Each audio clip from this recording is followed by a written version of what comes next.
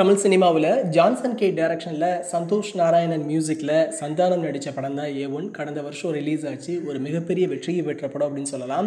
இந்த படத்தில் நகைச்சுவை காட்சிகளும் சரி வசனங்களும் சரி பாடல்களும் சரி சந்தானத்தோட ரசிகர்களுக்கு மட்டும் இல்லாமல் எல்லா தரப்பு மக்களையும் பெரிதும் கவர்ந்துச்சு.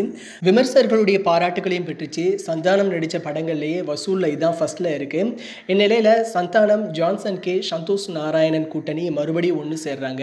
இந்த படத்தை லார்க் ஸ்டூடியோஸ் நிறுவனம் சார்பாக கே குமார் தயாரிக்கிறாரு.